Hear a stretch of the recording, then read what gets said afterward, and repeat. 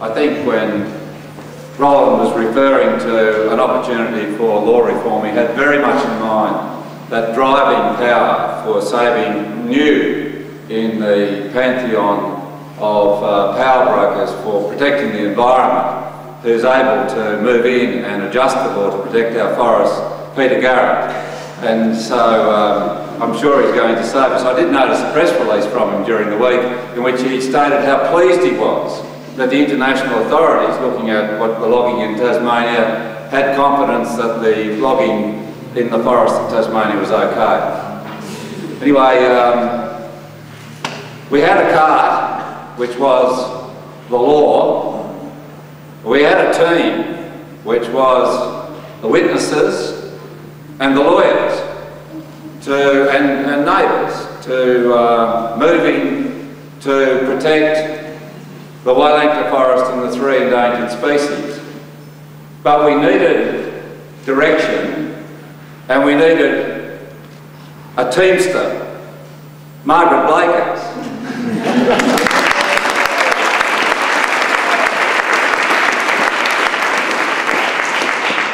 Thank you, Bob. Thank you, Roland. And really, we had a most fantastic team. Really, it was just wonderful. And um, we've thanked in this little brochure, which I hope you've all got a copy of, the, all those groups that, that Bob just mentioned, the witnesses, a couple of whom are here tonight, I think, Sophie in particular, I can see, um, and the, the legal team who were just brilliant. We were very lucky to have such a harmonious team that could, could really take this case as far as we could possibly have pushed it. Uh, it was three years from the moment we got into the court until a few weeks ago when we were turfed out unceremoniously in the High Court. Um, only on a two to one decision though. If uh, Justice Kirby, Michael Kirby, had had his way, we would have been in the High Court now in a case that would have been as important as the Franklin case 20 years ago, 25 years ago, 25 years ago.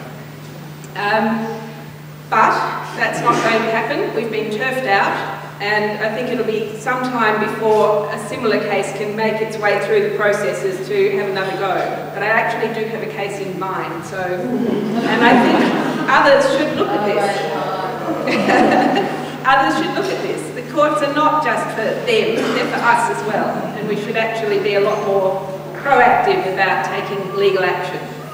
But leaving that to one side for the moment, because I don't think there's probably much further we can go on that with Wielangta. Think what the case did, apart from making it really clear that RFA's regional forest agreements are not worth the paper they're written on in terms of protecting the environment, um, and that the Commonwealth and, and the, the role, the lack of role that the Commonwealth can now play, what it's done is stop logging in Wielangta for three years. And in that three years, the wheel has turned. And we're now in a climate change world where everybody is worried about what's going to happen and where we are now actively looking at what we're going to do about it. And one of the critical things that we need to do about climate change is protect forests and woodlands. Stop clearing, stop logging. It's really simple. Um, if you divide the carbon world into fossil carbon, which comes from coal and oil and all of that, and what I'm calling biocarbon, the carbon that sits on the surface of the earth in vegetation and soils and so on. We need to look at biocarbon as a separate issue. And there are significant emissions, like 20 to 30% of Australia's greenhouse gas emissions are biocarbon emissions. And you don't see that figure, and you don't see that, uh, that reality put in front of you very often because the way that the accounts are presented, it's all netted out. So anything which grows is used to balance off the emissions from logging and clearing. But that's not the point. The point is the emissions. The point is the clearing. And biocarbon is stored, not like coal, which is underground over there somewhere out of sight, and therefore if you stop uh, digging it up, then it just sits there. It doesn't get in the way. But biocarbon occupies space on the surface of the planet. And space is limiting water is limiting. There is not enough space to store all the carbon that we need to on the surface of the Earth. And that means, just quite simply, quite uh, arithmetically, that you need to protect the places which have the densest stores of carbon. Where are the densest stores of carbon? They're in native vegetation. native vegetation which has been accumulating carbon over decades and centuries. And there's recent work from the ANU which shows that um, the amount of carbon, astonishing amounts of carbon stored in native forests, up to two and a half thousand cubic uh, tonnes of carbon per hectare, which is about 9,000 tonnes of carbon dioxide. Um, so 100 hectares of that kind of forest would have a million tonnes of, car of carbon dioxide stored. And to put that into context, Australia's total emissions carbon dioxide annually are about 550 million tonnes. So something not much more than a standard logging coupe, 1% of Australia's carbon emissions, CO2 emissions. So protecting all existing native vegetation, forests, woodlands, rangelands, grasslands becomes critically important. And the protection of those natural vegetation is, um, because, because it is an ecosystem, it functions in a way that enables it to adapt and to look after itself pretty much over time. So that what you have by protecting natural systems is permanent protection. And permanent protection is what's required for climate protection. So biodiversity, which is the ecosystem, which is the, the functioning living system, becomes essentially important element in tackling climate change in Australia and globally. So from here on in, that debate is going to become a really, really important one. And for the Greens, it's a, it's a crucial one. And we're probably the only ones who are going to be really pursuing it uh, as, as it needs to be. But within the next few weeks, you'll start to see biocarbon or green carbon being talked about much more than it has been in the past. And just on that front, Garnaut, Professor Garnaut's review, having spent, what, two years or so working on on climate change, he's left this whole sector, this whole biocarbon question to be dealt with in the next two or three weeks.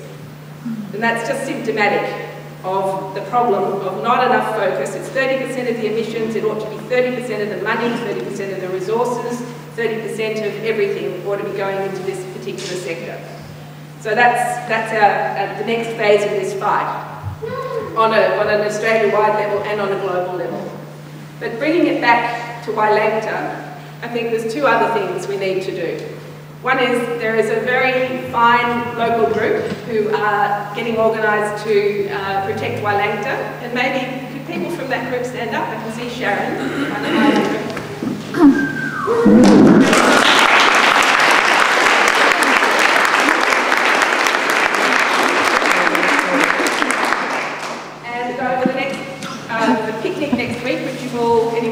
Tasmania next Saturday should come to Wielangta. Um, so local action, always crucial, always essential. And the other thing that I think we ought to be looking at is the swift parrot. Who lives in habitat of the swift parrot? Well, I reckon a lot more of you do than you think you do, because swift parrots migrate. Who comes from New South Wales? Hands up. You're all in swift parrot habitat. Victoria. Yep. South Australia? Yes. Tasmania? Yes. Okay. All of you are in swift parrot habitat. But the swift parrot actually only breeds in this little strip of southeastern Tasmania. And that is being logged to shreds. Swift parrot breeding habitat from Wielangta, northwards and southwards is being destroyed. People on the mainland have spent the last decade fighting to protect box ironbark forests and other habitats for the swift parrot amongst other things. All of that work is being undercut, quite literally, by Forestry Tasmania and its destructive um, crusade in Tasmania. So I think we should take the swift parrot and, and kind of extend that campaign so that we can see the relationships between the people, the campaign, the bird, the habitat across southeastern Australia. And more broadly, biodiversity generally, you know, it's, it's the only thing we've got to keep the planet functioning. This court case has taken us to a point where we can see exactly how ineffective the Commonwealth legislation is. Rachel has set up an inquiry in the Senate into, into the environmental legislation, so one thing everyone can do is make submissions to that inquiry and start fighting for biodiversity. Thank you.